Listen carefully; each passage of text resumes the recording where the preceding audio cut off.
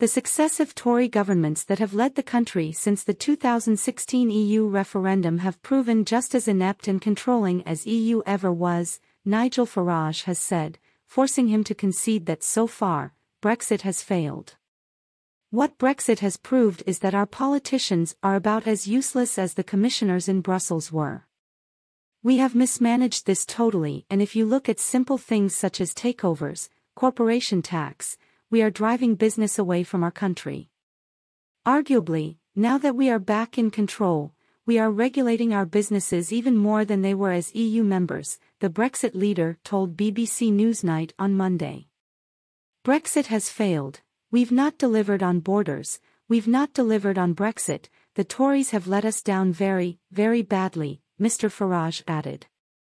Despite many voters backing the Conservative Party of Boris Johnson in the 2019 general election to get Brexit done and finally take back control of the nation's borders, the opposite, in fact, occurred.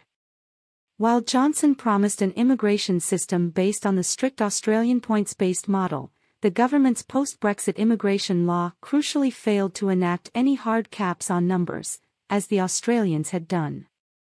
This new system, rather than decreasing the number of migrants coming into the country after Brexit actually allowed numbers to reach historic highs, with a record 1.1 million visas being issued to foreigners last year and net migration hitting a record half a million, which amazingly was nearly double the previous highs seen under the, the open borders Labour government of Tony Blair.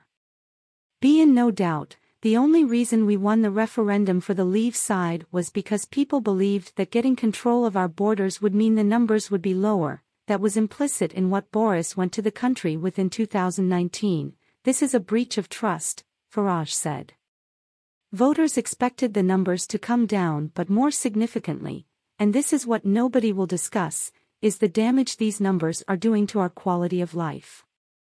All we ever hear is what the Bank of England say, whether GDP could be a little bit better than was predicted.